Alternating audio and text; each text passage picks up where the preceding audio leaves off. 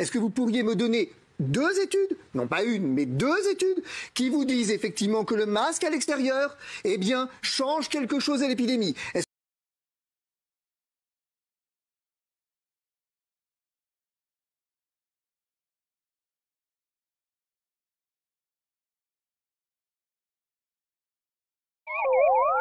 Évidemment, dans votre situation, surtout à Wuhan, on ne sait pas qui est malade, qui ne l'est pas. Le virus a un délai d'incubation probablement d'environ deux semaines, on ne sait pas trop. Et, du coup, il est euh, prudent de, mettre un masque même quand on sort, mais pour vous, dans la situation dans laquelle vous êtes à Wuhan. Et, du coup, il est euh, prudent de, mettre un masque même quand on sort, mais pour vous, dans la situation dans laquelle vous êtes à Wuhan. Mais en population générale, il est important de le repréciser. Repréciser, c'était bien normal de dire que le masque chirurgical protège uniquement si on est malade. Et c'est important parce que le risque que nous avons, c'est qu'en portant un masque, comme euh, effectivement certains Asiatiques le font, et on l'a vu d'ailleurs dans certains pays, il y a un relâchement de la mesure la plus importante qui est le lavage des mains.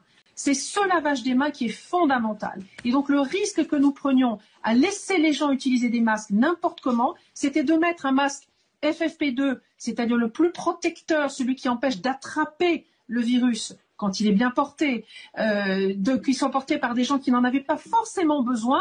Moi, je vois encore aujourd'hui dans les supermarchés, quand je sors des personnes, ah, je ne sais pas si vous m'entendez encore, des personnes qui utilisent un masque alors que ce n'est pas forcément euh, la, solution la meilleure. C'est le 20 mars. Pour revenir à votre question, nous avons donné des indications. La porte-parole du gouvernement disait le masque ne protège pas.